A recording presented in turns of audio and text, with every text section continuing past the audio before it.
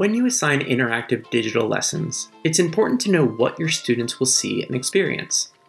Let's take a closer look at what students will experience once an easel activity is assigned. First, start with an activity you want to assign to your students.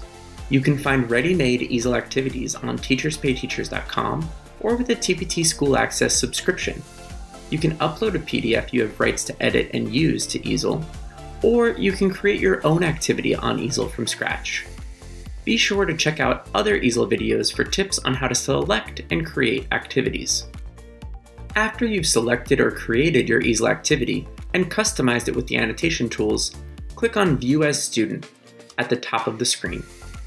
Here, you can preview how the activity will look to students when it's been assigned to them, and you can see and try the annotation features they can use to complete the activity.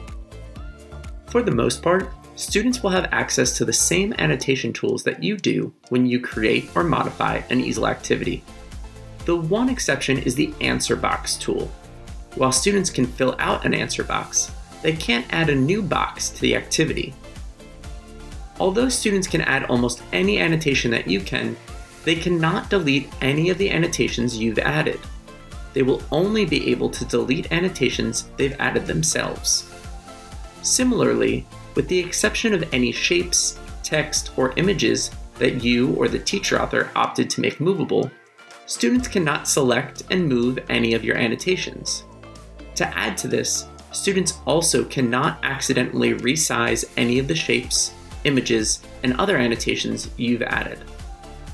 When viewing an activity, students will be able to zoom in and out of the pages as needed by clicking on the plus and minus signs on the right side of the screen. To navigate through multi-page activities, students will click the forward and backward arrows at the bottom of the screen. Once you assign a lesson to students, when they navigate to the activity, they'll sign in with their email address. After doing so, the activity will appear as it does when you preview it in View as Student mode. When students are ready to submit a lesson, they simply click the blue Turn In button. Note that this button is displayed but inactive when you preview the activity in View as Student mode. When students are ready to sign out of easel, they simply click Sign Out at the bottom left. Once you add feedback to a student's completed easel activity and return it to the student, they'll then be able to revisit the assignment on easel by going to the original assignment link you shared with them. They'll see your comments and corrections, and they'll have the option to make changes and resubmit the work as often as you request. Thanks so much for watching. In the next video, learn how to review completed easel activities from your students.